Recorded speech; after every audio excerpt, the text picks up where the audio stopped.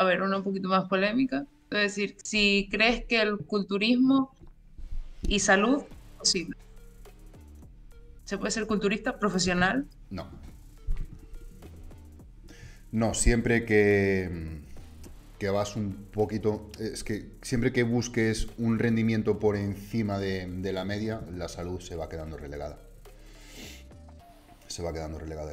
y no hablo de, de farmacología, saca la farmacología, podemos hablar de culturismo natural, Siempre que lleves tus entrenamientos más al límite, tu descanso va a ver comprometido a nivel articular, eh, estrés, glándulas suprarrenales, cortisol, ADH. No. Eh, el cuerpo quiere tender a un confort.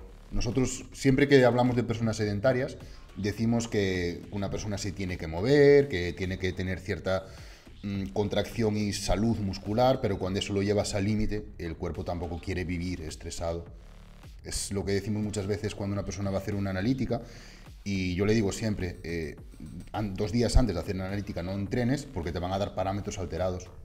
Esos parámetros alterados en función del estrés, de enzimas hepáticas y todo eso, realmente es el estado fisiológico normal de una persona que entrena. Pero es que es un, estado fisiológico de un estrés y una supercompensación constante. Con lo cual eso si lo vas llevando más al extremo, no, no, la salud se va quedando en un segundo plano que me jode mucho que mucha gente lo diga. A ver, eh, no es la musculación lo que es salud, pero el culturismo para mí o sea, es un deporte súper extremo, o sea, te llevas al límite y 24 horas al día.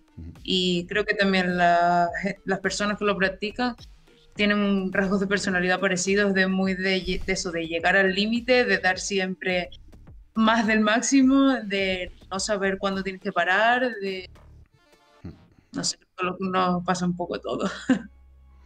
Sí, el compromiso llevado un poco a, la rigidez. Sí. Mm.